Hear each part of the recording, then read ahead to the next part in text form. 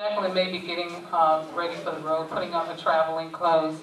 But the gifts tonight that will be awarded to Jacqueline comes from Ms. Joanne Hayes. Joanne, just raise your hand.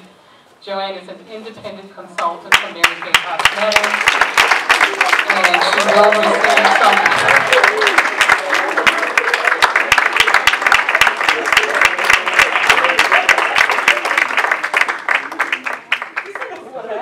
Are you surprised?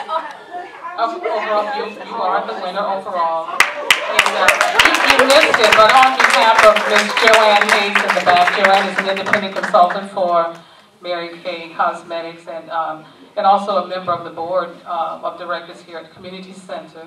And you have some fine jewelry, I'm gonna say, from my cousin Deadra.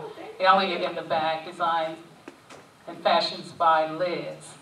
So when the lights come on, make sure you stop by and check out the vendor. Uh, You almost always will find Deadra here with us at the community center when we have our events. And we just thank her so much for her love and commitment to our efforts here at the community center.